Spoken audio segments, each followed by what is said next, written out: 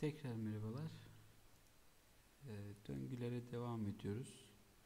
Döngülerde yaygın olarak kullanılan bir başka algoritma nöbetçi kontrollü döngü olarak isimlendirilen algoritma türüdür.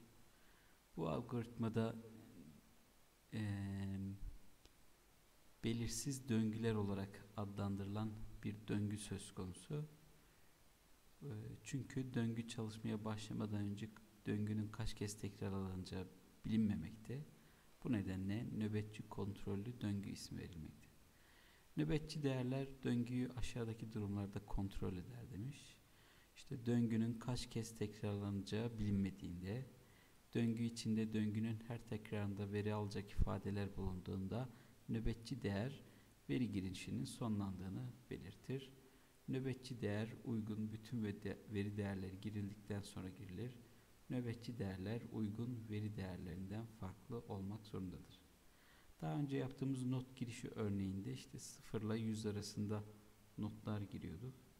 İşte notlar negatif olamaz. Örneğin eksi 1 gibi bir değer girersek bu anlamsız olur. Eksi 1'i biz şöyle düşünebiliriz. Onu nöbetçi değer olarak atayabiliriz. Öyle ki nöbetçi değer gördüğü yerde artık döngüden çıkması gerektiğini program anlayacaktır. Şimdi bunu bir örnekle yapalım. Örneğimiz yine bir sınıfta sınıfa giren öğrencilerin aldıkları notların ortalamasını bulma problemi üzerine işliyor.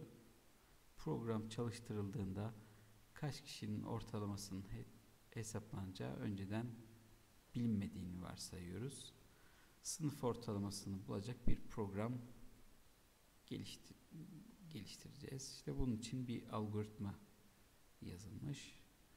Bu algoritma diyor ki başta toplam değişkenini sıfır olarak belirle, sayıcı değişkenini sıfır olarak belirle.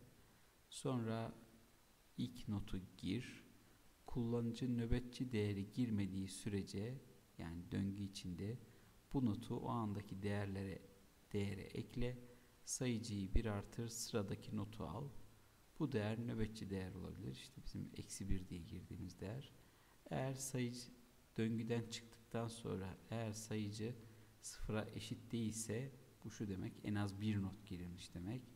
Ortalamayı notların toplamını sayıcıya bölerek hesapla. Ortalamayı yazdır. Aksi de takdirde else yani şu if'in elsesi not girilmemiştir yaz. Yani sayıcı sıfırdan farklı ise en az bir not girilmiştir. Öyleyse ortalamayı hesaplayıp notları yazabilir. Eğer sayıcı sıfırsa şu demek e, notlar girilirken ilk başta eksi bir girmiş ve döngüye hiç girmeden program çıkmış. Bu da hiç not girilmediği anlamına gelir. Şimdi bunu bir program e, haline getirelim bu algoritmayı. Her zaman yaptığımız gibi bir e, e, program şablonu oluşturuyoruz. İşte daha önce kullandığımız programlardan bir tanesinden ilgili kısımları alıyoruz. Buraya ekliyoruz. Sonra en altıda şöyle bunları ekledik. En tepeye de programımızla ilgili açıklamaları yapıyoruz. Onları da buradan ben kopya çekeceğim. Şöyle şuradan alıyorum. Ekledim. Buraya da algoritmayı yazmak istiyorum. Algoritma kısmı da şurada var. Bunları aldım ve buraya ekledim. Algoritma kısmını biraz sağa doğru yaslayarak yazmak istiyorum. Böyle daha iyi görünüyor sanki. Evet. Bu haliyle bunu kaydedersem F11'e bastık. ismini girdik. Kaydet dedik. Programımız çalışıyor. Şimdi program şablonunu oluşturduktan sonra artık programımızın içini doldurabiliriz gerekli olan ifadelerle. Tekrar Tekrar programımıza dönecek olursak algoritmamızdan diyor ki toplam değişkenini sıfır olarak belirle, sayıcı değişkenini sıfır olarak belirle. Bunları yapacağız şimdi. Şöyle dedik.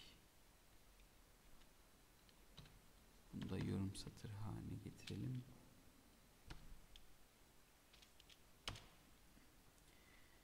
Önce bu, bu veri tiplerini önce tanımlamamız lazım. Onun için init veri tipinde toplam değişkenini sıfıra ata diyor. Eşittir sıfır virgül sonra sayıcı değişkenini sıfır olarak belirle demiş. Sayıcı eşittir sıfır. Tabi Türkçe karakterler değişken ismi olarak veremiyorduk. Eşittir sıfır. Değişkenlerimizi böylece belirlemiş olduk. Ee, sonra algoritmanın ikinci adımı diyor ki ilk notu gir. Şu adımları yapacağız şimdi. Bunları da şuraya ekleyeyim. Şöyle yorum satırı olarak.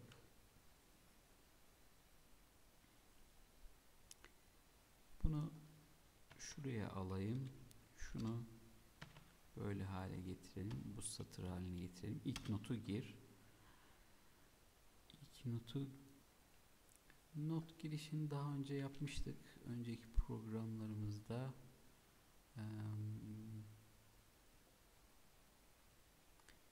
şöyle bir ifade vardı. Bunu buradan kopyalayayım. Buraya alayım. Printf ilk notu dediğine göre şuna gerek yok. İlk notu giriniz. Buradaki değişkene de ihtiyacımız yok. Bir not girişi yapacak. Scanf fonksiyonuyla da şöyle bir not alacağız. Girilen not diyor. Bunu değişken olarak da tanımlamamız gerekiyor yukarıda. Aksi takdirde hata verecek. Böyle bir değişken tanımlamak için.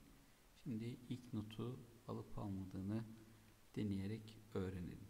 Çalıştırıyoruz. İlk notu giriniz 44 dedik. Evet program sonlandı. Evet şimdi algoritmamızın şuradaki kısmına geldik. Notumuzu girmiştik. Diyor ki kullanıcı nöbetçi gir değeri girmediği sürece while bizim girilen notumuz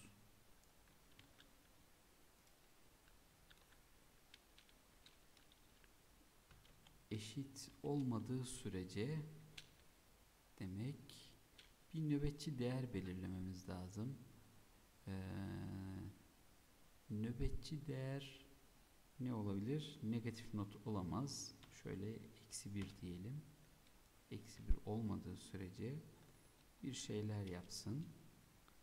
Bu yapacağı şeyler de şuradaki işlemler. Şimdi bunları teker teker deneyeceğiz.